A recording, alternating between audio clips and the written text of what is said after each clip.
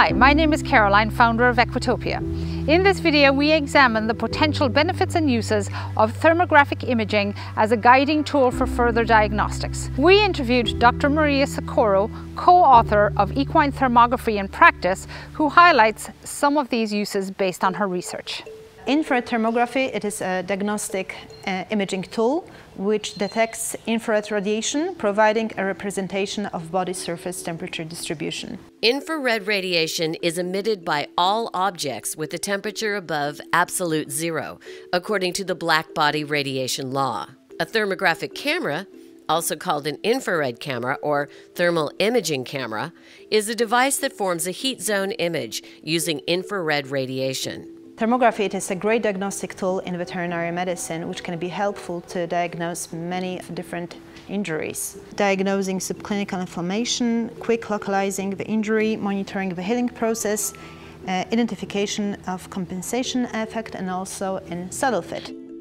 Thermography is at least 10 times more sensitive than palpation by human hands in detecting temperature changes.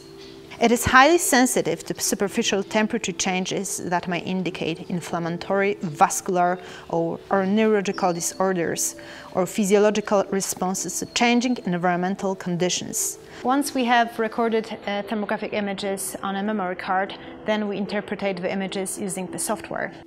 The result of a thermographic examination is called a thermogram, which creates a graphical temperature distribution map of the body's surface area. The color bars on the side of the screen illustrates the temperature pattern, with the white, red, and yellow colors being warm and moving down towards the cooler temperatures, represented in blue and black. Normal body surface temperature distribution depends on anatomical structures, subcutaneous tissue, muscle tissue, and a hair coat. In interpretation of thermographic images, we compare symmetrical parts of a body. So we always have to make sure that we take the images uh, of both sides of a horse. The coldest areas in a, in a horse are represented in the distal part of the limb. So to the carpus and tarsus, going down to the, to the feet, we see uh, decreased temperature because both areas don't have muscles, they have only tendons and ligaments uh, which have less blood supply. As we can see, uh, here the warmest area is represented in the neck area, especially in the head area because um, here we have uh, less uh, coat and that coat is very thin. And also the neck area is warm where we have a lot of muscles. Uh, also we can see quite a lot of heat in the shoulder area which also is covered in, in muscles. The area of the feet, like in the area of the coronary band, is always has to be warm because here we have an artery before conducting a thermographic scan, it's crucial to prepare the environment where the exam will be taking place.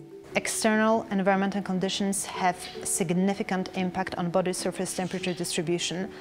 Ideal ambient temperature for thermographic examination is about 68 degrees within a range of 53 uh, up to 77 degrees. Artifacts like heat sources from sunlight, lamps, heaters should be definitely eliminated. Uh, any air drafts should be avoided because some even barely noticeable air movements are able to decrease body surface temperature, especially in the distal parts of the limbs. Windows also should be covered and doors closed. Proper preparation of the horse is equally important. Four things which you have to take under consideration to prepare the horse for thermographic examination. Decent uh, grooming the horse, preparing the mane, preparing the tail, and also uh, cleaning the feet. A thermographic exam should always be performed on a horse at rest and before training to avoid changes in body temperature and blood circulation. Ideally, this should be in the morning uh, after the horse has rested in the stable. It is recommended to acclimate uh, uh the horse for 20 minutes the imaging in the room where the thermography will take place. A longer period of acclimate might be required in cases where the animal is transported from the extreme cold or hot environment. The horse must have a clean, dry hair coat and should be groomed at least one hour before the examination. Artifacts can be produced by any material on a body like dirt, thick coat, scars, Rugs, blankets and other covering should be removed at least 30 minutes before the examination. The mane should be plaited before examination. The tail should be uh, also plaited and protected. Any physical therapy like acupuncture, massage should be avoided at least one week before thermographic examination. If your horse does receive any physical therapy, then the person who is taking the thermographic images should know about that.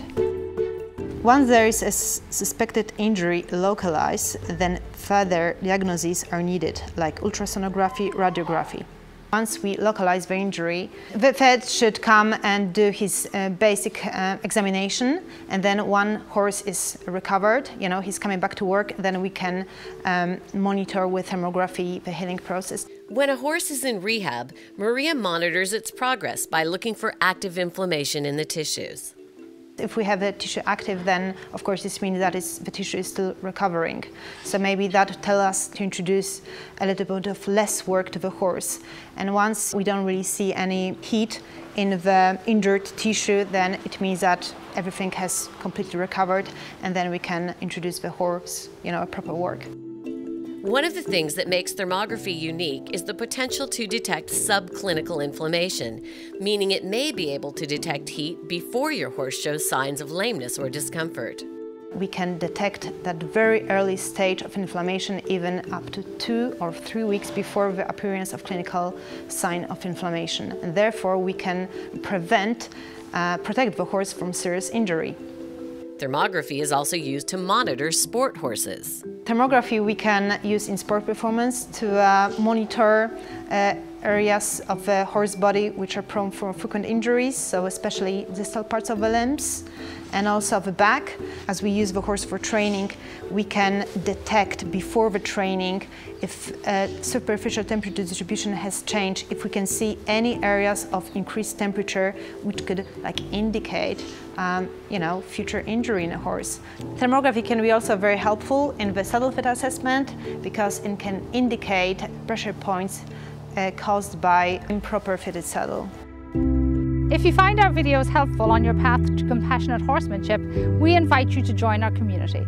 For more videos and information, please visit our website at equitopiacenter.com.